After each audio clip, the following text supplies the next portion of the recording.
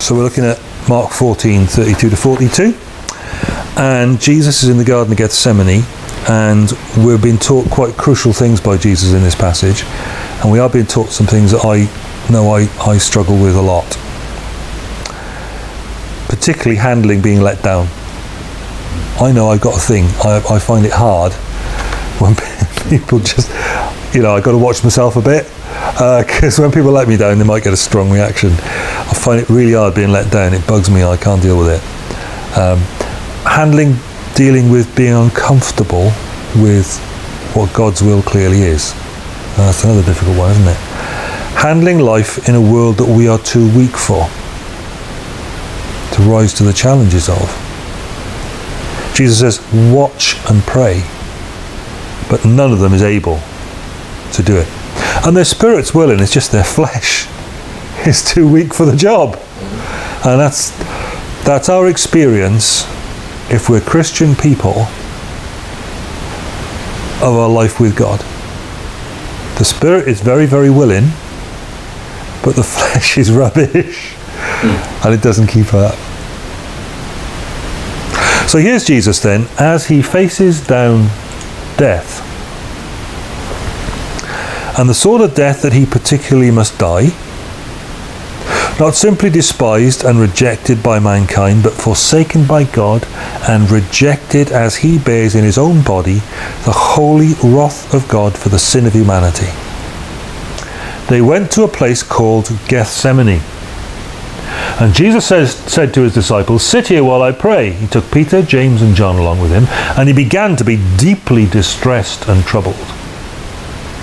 My soul is overwhelmed with sorrow to the point of death, he said to them, Stay here and keep watch. And going a little farther, he fell to the ground and prayed that if possible the hour might pass from him. Abba, Father, he said. That loving relationship. Everything is possible for you. You are the Almighty God. Take this cup from me. But not what I will, what you will.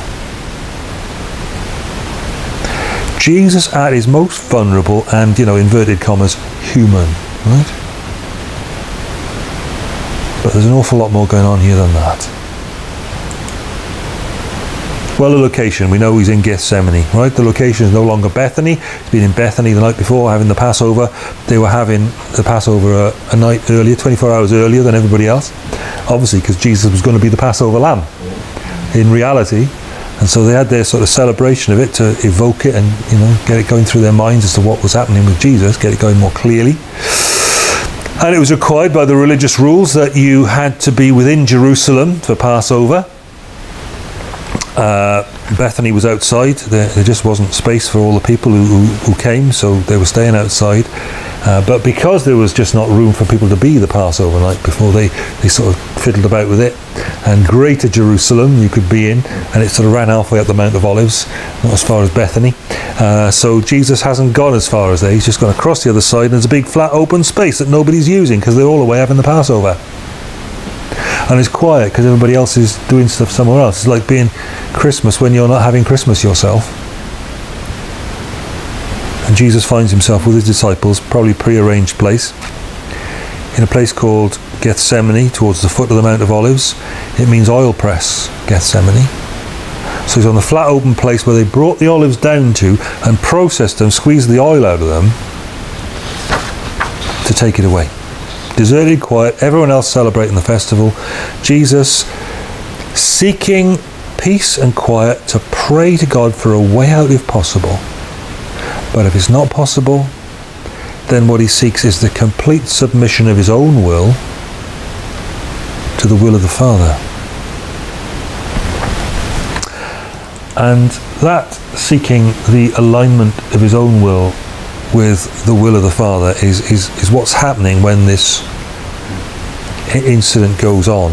We've seen Jesus struggling with temptation 40 days in the desert, being tempted by the devil at the beginning of his ministry. Here he is, Jesus, struggling with the temptation of his own flesh at the opposite end of his life. as he wrestles to submit to the unwelcome will of God, as his, as his flesh cries out for some other outcome. That's the big thing going on. We can't forget that, can't put that to one side. He's going through that agony of soul because he loves you and because he loves me and because he knows what he's got to do for us. But we're shown that struggle to align his will with the will of God alongside the Spirit's willingness in his disciples, but their flesh's utter weakness to follow through. And that is the big battle for all the saved sinners that Jesus has left behind on earth. When he's trying to tell them to watch and pray, and then they're going to fail him, they're going to learn a lesson that that's what you've got to do. Because your spirit is willing and your flesh is weak. That's the score. Your spirit's willing, your flesh is weak, so you've got to watch and pray, or you fall into temptation and you let Jesus down badly. So here's the solution we spend our lives working on. Watch so we're alert to what's happening. Pray about it because we're too weak to deal with it ourselves. So that you do not enter into the open door that exists on the house of temptation